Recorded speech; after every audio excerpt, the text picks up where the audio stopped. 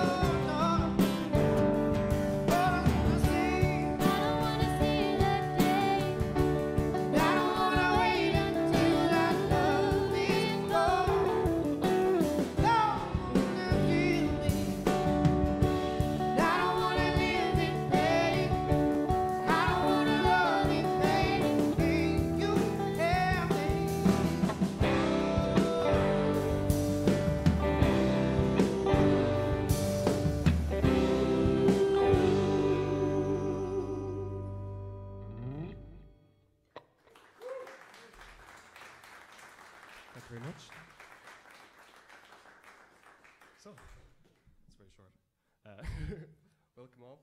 Um, so, I'm basically going to play like six songs. That was two of my six kind of say guitar players I kind of steal from, take inspiration from, I guess.